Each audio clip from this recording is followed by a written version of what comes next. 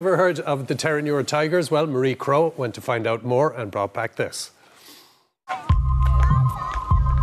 The Terenure Tigers are an inclusive rugby team. Today they're hosting a blitz for teams from around the locality, and we came along to check it out. Terenure Tigers are kids from uh, that 90% of them are on the spectrum who just want to get out, don the jersey, go out, have fun, meet here every Sunday and play and get involved in the game of rugby.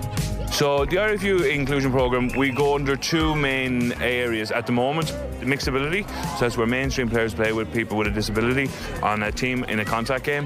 But behind you, as you see there, you're looking at our tag rugby program. So currently within our tag rugby program in Leinster, we have 20 clubs um, fielding teams with about 450 players playing, taking part in the tag rugby program. So my son Owen has autism, and I was recommended uh, the Terenure Tigers as somewhere inclusive for him to come and play sport, a place where he can come and have a lot of fun, but also where uh, his difficulties or his challenges or his form on the day don't really matter.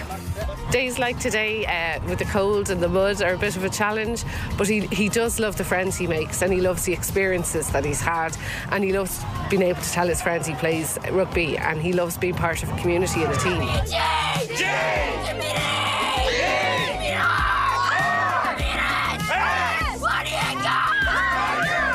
You have loads of fun where you get you active and you can make loads of new friends and people don't treat you like the way you are.